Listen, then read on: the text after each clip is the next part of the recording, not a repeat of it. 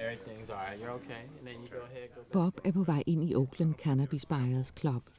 Det er en klub, hvor man kan købe cannabis på visse betingelser. Bobs læge anbefaler ham at bruge marihuana, og han kan derfor i lighed med de 1200 andre medlemmer af klubben købe marihuana til medicinsk brug. Formelt er den trafik ulovlig, for enhver form for omgang med marihuana er strengt forbudt i USA. Men politiet og bystyret i Oakland har igennem to år stiltigende accepteret klubben. When I was a kid, I got hit in the eye, and it developed and developed and other things. As I got older, the pressure in my eye uh, increased, so I was diagnosed with glaucoma. So instead of wearing thick glasses, uh, I smoked pot, and it kept the pressure down within normal limits. It doesn't alleviate it, but it keeps it down. Uh, I would take an A for this. Professor Lester Greenspoon mener, at det vil gå med marihuana på samme måde som med penicillin. Penicillin blev fundet i 20'erne, men lægerne og medicinalindustrien var ret uinteresseret. Først 12 år senere skete der noget. In 1941, two investigators look at penicillin to take this this uh, um down from the shelf, so to speak, and look at it.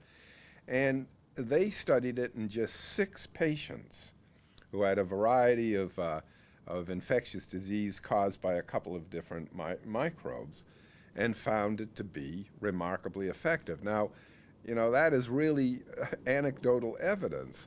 but it led to penicillin becoming known as a wonder drug of the 40s. Now, why was it a wonder drug? Uh, one, because it's remarkably non toxic. People can take a lot of penicillin and not get into difficulty. Similarly, with marijuana, it's remarkably non toxic.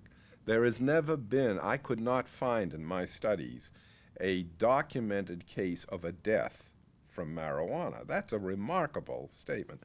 Secondly, uh, penicillin was, once it was produced on an economy of scale, very inexpensive. Marijuana, once it is freed of the prohibition tariff, will be remarkably inexpensive. I den seneste udgave af Grinspoons bog, Den forbudte medicin, oplistes der 35 sygdomme og symptomer, hvor marihuana synes at have en gavnlig effekt. Så også på det punkt kan marihuana sammenlignes med penicillin, der jo netop er karakteristisk ved at være virksom over for mange forskellige sygdomme.